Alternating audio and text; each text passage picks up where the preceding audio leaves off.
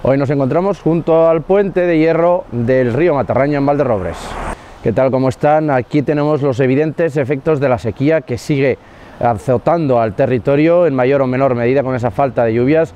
Pero bueno, vamos a ver qué tiempo nos espera para este fin de semana. Lo cierto es que va a llover, vamos a tener precipitaciones que ya a partir de mañana van a afectar a prácticamente todo el Bajo Aragón histórico con un frente que pasará de oeste a este que creará una pequeña bolsa de aire frío en altura con vientos mediterráneos y que puede provocar, como decimos, precipitaciones.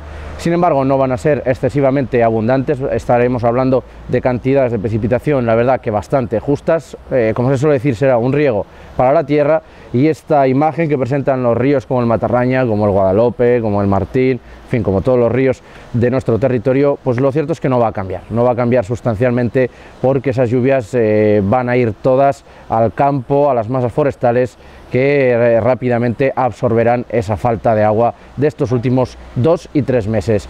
Por lo demás, eh, como decimos, el sábado mañana será una jornada eh, parcialmente nubosa a ratos y sobre todo ya conforme avance la tarde con más nubosidad y con esas precipitaciones que pueden afectar a cualquier punto del territorio y el domingo esa inestabilidad decrecería. El domingo ya esperamos un día soleado o parcialmente nuboso, algún chubasco residual, sobre todo en las montañas, y temperaturas, eso sí, sobre todo las máximas, en descenso a partir de mañana, descenso eh, ligero o moderado, con temperaturas propias del mes de otoño. Así que bueno, por lo que ven, un poco de todo este fin de semana, pero la sequía persiste y mucho nos tememos que persistirá unas semanas más.